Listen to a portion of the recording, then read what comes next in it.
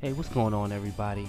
Gamer Vibes 95 here, and guys, it's finally here. It's finally in my hands. Sonic Mania. Oh my god, it's been long.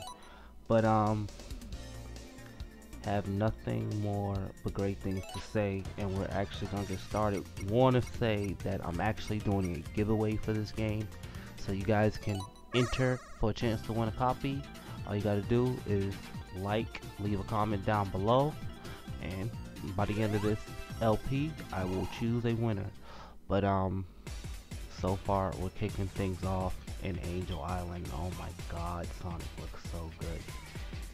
HD, 60 FPS, crisp, great. Look who's stealing something today. Yeah, the doctor. Eggman's back. Well, Looks like uh, time traveling is going to be part of this. But, no matter. Rehash, old hash, whatever hash, it's Green Hill Zone. And it looks great. Let's go! Alright, so, so far from last year when I pretty much was doing the full coverage, following up on it from the 25th anniversary party, and find out that Taxman, Christian Whitehead, was doing this. I was astounded and actually happy that Sega decided to uh, give this guy a chance to create a whole new 2D Sonic game from the ground up, as you can say, but from the actual trailer, from the reveal, it said uh, Reimagined Classics. As you can see, we're in Green Hill Zone, but, you know, he managed to pull off some amazing things. Actually, he made a fan game back in the day called uh, Sonic Retro, where kinda he created his own engine and pretty much, you know, put a stamp saying that I'm here, I know how to create Sonic games, and I know how to make great, make great Sonic games. So, so far, he hasn't disappointed. He's actually redone the mobile versions of one Sonic 1, Sonic 2, and Sonic CD. So I'm happy that Sega went along and got him along for this project. But we're gonna come into our first mini boss, which was actually revealed at the uh, 25th anniversary party for some people who got a chance to go play it, aka Chum Zone Gaming ENT. I see you, brother. Yeah, you got your hands on this, but um, it's cool you got first dibs to play, but now I got my hands on it, and we're gonna actually have some fun with this. I actually want to see if you can actually uh, pull off some cool speed runs. I'm challenging you, brother. But um, we managed to get through Act 1 right here. Nice little transition. As you can see, we're getting ready to go into from Sonic 3 and Knuckles, which I actually like that Taxman and Simon from Pagoda West Games and Headcannon when the whole team came together. You guys did an amazing job. And as you can see right here, we're entering into a different part of Green Hill Zone, which has never been seen. I mean, to the public's eye, honestly. Excuse me. And pretty much, I guess these guys got their hands on some um, old blueprints and some old back screenshots. But um, making a return is the blue spheres.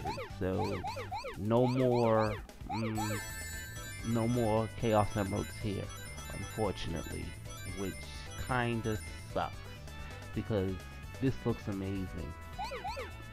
Really, it does. I mean, full scale, like I said, 60 FPS, crisp, blue and it's in HD. I would love to see what the Chaos Emeralds will look like in here with a full how this actually looks like a full remake of the Blue Spheres. But a man can only dream. But the only thing that you will get out of this so far is um pretty much either gold or silver medals. The only way you can get a gold medal out of here is if you get everything, meaning spheres and rings, and get a perfect to uh, get the gold. But if you get silver by getting all the blue spheres and leaving a few rings behind, then yeah, So choice is really up to you. If you want to go gold and be perfect, go ahead. If you want to go and be silver, it's quite up to you, honestly. But we managed to snag our first gold medal right here, and we're back into the action. So yeah, I I I can't stress enough even that the music for this game is what Tee Lopes did an amazing job on the soundtrack. I mean, just the fact that he was able to go back and bring it back, it just makes it feel like it's the actual first Sonic the Hedgehog game. Well, with this level, it feels like it with the music. I mean, What did you do? I mean, did you did you go back and actually dig from the Master System and maybe even the Game Gear and took some of them sounds because my dude, on point. Nice. Honestly. Jeez, I mean, you should get a Grammy for this. Honestly. Grammy of the Year. Sonic Mania soundtrack.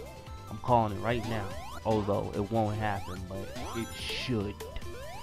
But I digress. I mean, so far we're coming up close, I believe, to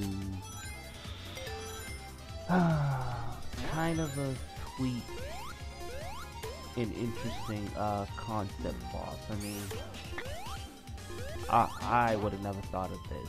Never. If I was a game developer in, in these guys' shoes, I would have never in a million years thought about doing this. And unfortunately, I managed to lose a hundred and some odd rings. But yeah, we'll just keep on moving on. And this is what I meant. Why would the Death Egg be in Green Hills? Honestly, that's my opinion. But you know, I just you know I would never would have never thought of this. But you know, as you can see, Christian and the team was very creative. But we're gonna try to keep away. We got zero rings and we need to stay alive. And I honestly don't want to. Yeah, but we're gonna see if we can beat Eggman here. Tails is gonna help us out with a couple more hits. He throws a damn bomb and Tails gets the last hit. Fucking A. Well, we managed to put everything down for the time being. And we're gonna actually hit this capsule. So, uh, thank you guys for watching so much. This is Gamer Vibes 95 signing off saying keep on gaming, keep on vibing. We'll continue on next time with part two and see what the doctor has up his sleeve this time around. Take care. Have a great day, people. Bye.